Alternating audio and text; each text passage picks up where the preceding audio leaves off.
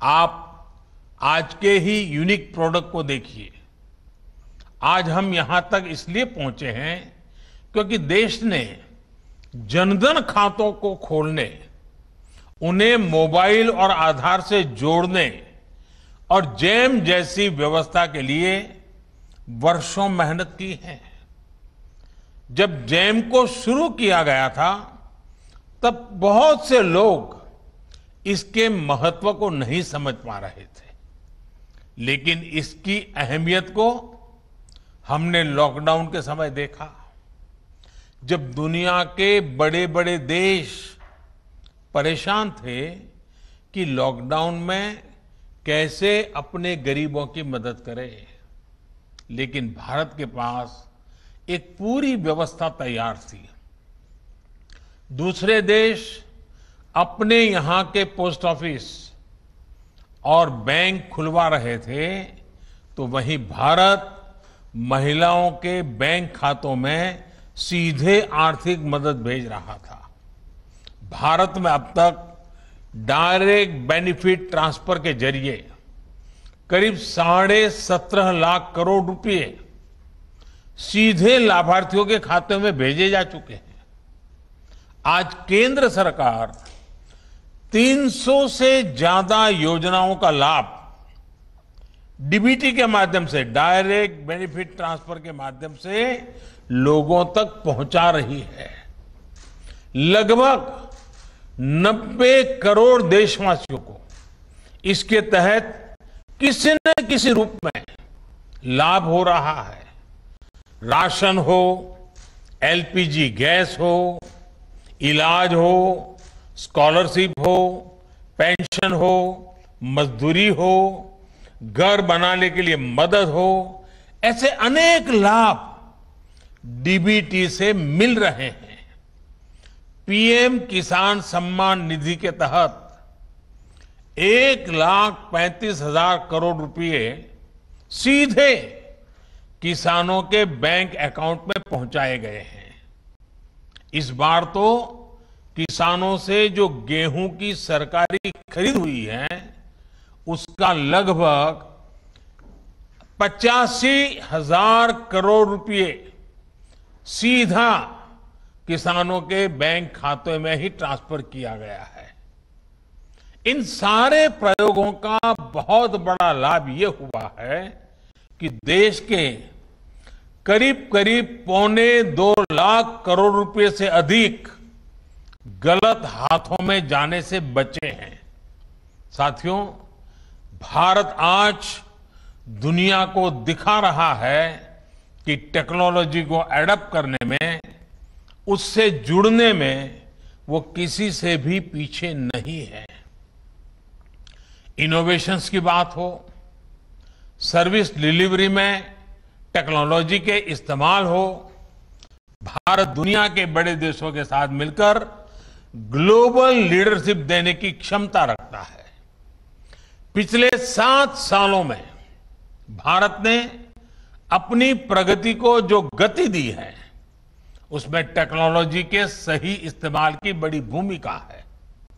आप सोचिए, क्या आठ दस साल पहले किसी ने कल्पना की थी कि टोल बूथ पर करोड़ों गाड़ियाँ बिना किसी फ़िज़िकल ट्रांजैक्शन के लेन देन से निकलेगी। आज के फास्टैग से ये संभव हुआ है। क्या आठ, दस साल पहले किसी ने सोचा था कि दूर सुदूर गाँव में बैठा कोई हस्तशिल्पी अपने प्रोडक्ट दिल्ली के किसी सरकारी दफ्तर में सीधे बेच पाएगा? आज जेम यानी government e marketplace portal से ये मुमकिन है। क्या आठ दस साल किस पहले किसी ने सोचा था कि हमारे सर्टिफिकेट्स डॉक्यूमेंट्स हर समय डिजिटली हमारी जेब में होंगे और हर जगह एक क्लिक पर इस्तेमाल हो पाएँगे। आज ये डिजी लॉकर से मुमकिन है।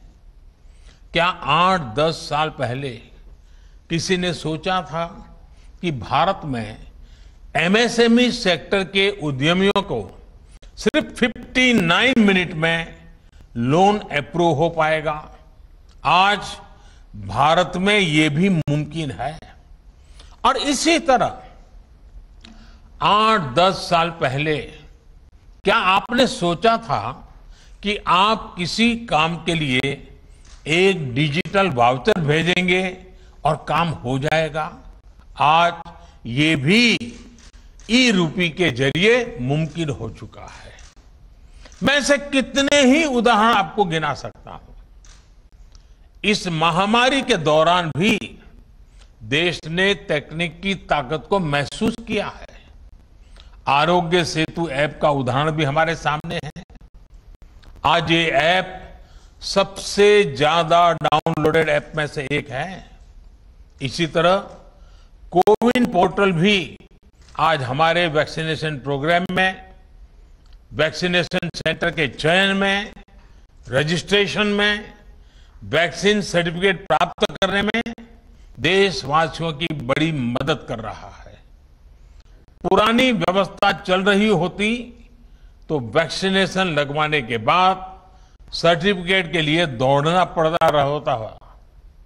दुनिया के कई बड़े देशों में भी आज पेपर पर हाथ से लिख करके सर्टिफिकेट दिया जा रहा है। लेकिन भारत के लोग एक क्लिक में डिजिटल सर्टिफिकेट डाउनलोड कर रहे हैं। इसलिए आज भारत का कोविन सिस्टम दुनिया के कई देशों को आकर्षित कर रहा है। भारत इसे दुनिया के साथ साझा भी कर रहा है। साथियों, मुझे याद है कि चार साल पहले जब भीम ऐप लॉन्च किया गया था, तब मैंने कहा था कि वो दिन दूर नहीं, जब अधिकांश बिज़नेस ट्रांजैक्शन नोट और सिक्कों के बजाय डिजिटली होंगे। तब मैंने ये भी कहा था कि इस बदलाव से सबसे अधिक गरीबों, वंचितों, छोटे व्यापारियों, किसानों, आदिवासियों का सशक्तिकरण होगा, वो एम्पावर होंगे। आज हम ये साक्षात अनुभव कर रहे हैं। हर महीने यूपीआई ट्रांजैक्शन के नए रिकॉर्ड बन रहे हैं। जुलाई महीने में 300 करोड़ से अधिक ट्रांजैक्शन यूपीआई से हुए हैं, जिसमें छह लाख करोड़ रुपए का लेन देन हुआ है। आज चाय, जूस और फल सब्ज़ी का ठेला लगाने वाले भी इसका उपयोग कर रहे हैं। वहीं भारत का रुपे कार्ड भी देश का गौरव बढ़ा रहा है। सिंगापुर, भूटान में भी इसे लॉन्च किया जा चुका है। आज देश में छियासठ करोड़ रुपए कार्ड हैं और देश में हज़ारों करोड़ रुपए का ट्रांजैक्शन रुपए कार्ड से भी हो रहा है। आप सुन रहे थे प्रधानमंत्री नरेंद्र मोदी को ई रूपी के लॉन्च के मौके पर बोल रहे थे प्रधानमंत्री नरेंद्र मोदी। किस तरह से डिजिटल क्रांति देश में आई है, तेज़ी से आगे बढ़ रहे हैं हम। डिजिटल क्रांति को लेकर इस सब के बारे में बात की आज प्रधानमंत्री नरेंद्र मोदी ने। फ़िक्र आपकी। सोमवार से शुक्रवार, रात नौ बजे, सिर्फ़ टीवी नाइन भारत वर्ष पर।